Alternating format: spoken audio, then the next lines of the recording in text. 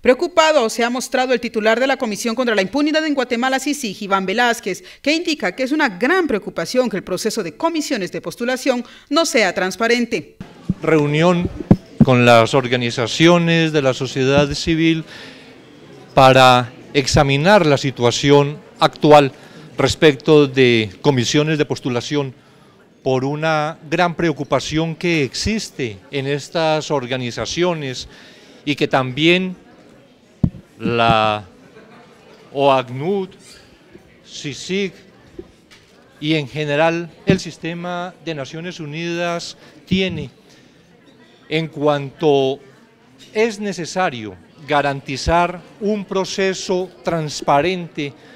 que aplique, de acuerdo con el artículo 113 constitucional,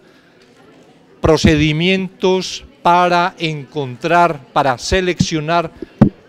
verdaderamente a los más idóneos, más capaces y honrados para las altas cortes. La Comisión Internacional contra la Impunidad en Guatemala le dará acompañamiento a organizaciones civiles para garantizar apego en comisiones de postulación.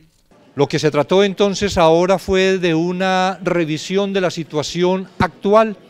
la definición de parte de las organizaciones sociales de unas acciones que habrán de emprender y el acompañamiento que nosotros haremos a esas organizaciones. Creo que en, su momento las organizaciones